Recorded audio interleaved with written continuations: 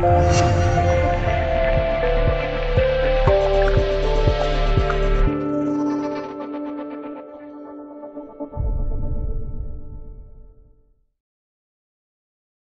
十六分大胜奥格恩格拉，在四国赛上，中国男篮最终以三战全胜登顶夺冠。尽管在与奥格拉的比赛中，中国队在硬实力上全方位碾压对手，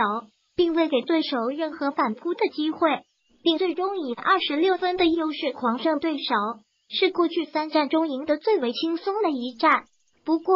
男篮赢球背后却留下一隐患，看着全队哐哐哐的罚球打铁声，难怪场边的姚明脸都绿了。在过去三场比赛中，中国队的整体表现还算不错。在没有周琦和丁彦雨航的情况下，中国队不仅三战全胜，而且在 G 二战与乌克兰的比赛中，中国队在一度落后两位数分差的情况下艰难逆转，也让我们看到了中国队的韧劲。不过，胜利固然能够掩盖掉一些问题，但男篮的小伙子就万万不能麻痹大意。尽管在与奥戈拉的比赛中，中国队占据全方位优势。可在基本功上，中国队却再次爆出自己的软肋。此役，中国队虽然获得了多达二十九次罚球机会，但却只命中十四球，命中率仅为百分之四十八点二，连五成的命中率都达不到。全场比赛，中国队只有两人的罚球命中率超过六成，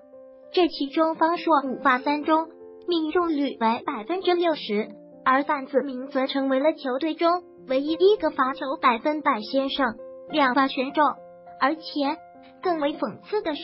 中国队此役的两分球命中率和三分球命中率均非常不错，分别达到百分之五十五点一和百分之四十二点八。而作为球队的核心，王哲林在此役的罚球命中率同样一般，全场比赛他获得十二次罚球机会，仅命中六球，命中率仅勉强达到五成。事实上，自从二零一四年龚鲁明接手男篮以来，他老人家就一直强调中国队的基本功薄弱。在过去五年里，无论是龚鲁明、杜锋一或者是李楠，他们都在狠抓基本功。可遗憾的是，从与安哥拉的比赛来看，男篮小伙子恐怕还需要多加把劲。